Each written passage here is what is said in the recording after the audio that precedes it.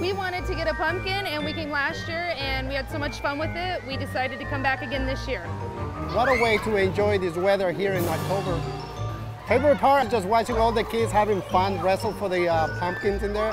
It was hilarious. I never seen it before. Uh, the games. The games around the pool that the young people are running for us. Watching my kids jump in and play with the pumpkins and just having a good time. It's fun, something that our kids will remember. It's interesting that uh, pumpkins floating, that's something new. I never seen that before.